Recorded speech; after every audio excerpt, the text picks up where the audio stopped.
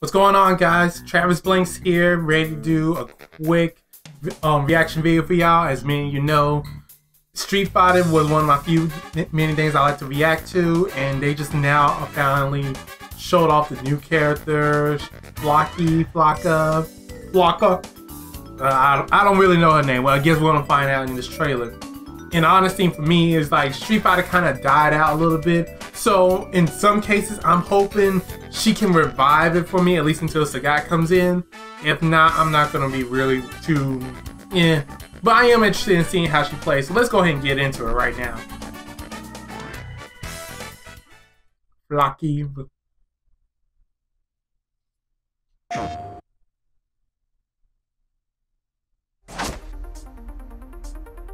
Capcom?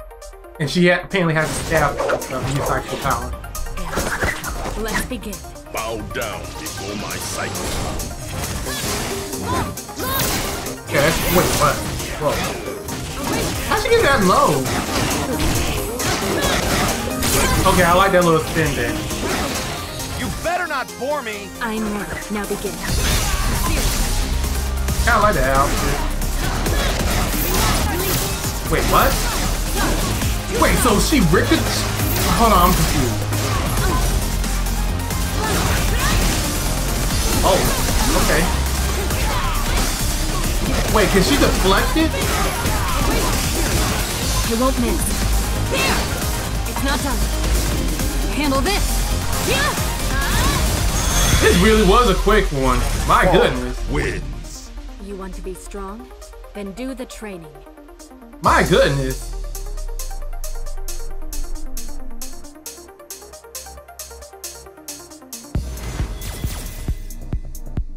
Ooh, the battle one.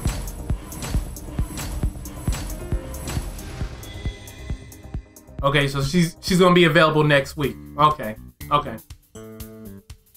Yeah, it definitely seems pretty interesting, and I definitely can't wait to see. I can definitely can't wait to try her out. I'm gonna definitely try her out come Tuesday. That's gonna be part of the. I'll probably do a live stream with that, or, or I might do it. If not Tuesday, definitely Wednesday. But um, honestly, it, it was a little confusing. It was like she had a lot of moves that was like, like for instance, what was with the projectile one? Apparently, she had a projectile, like doing the aerial projectile one. Uh, is she like another Akuma mixed with Rose? Because I saw one where she deflected a beam. Alright, but I don't know. Let me know what you guys think. And without any other sayings, this is Travis Blanks signing out.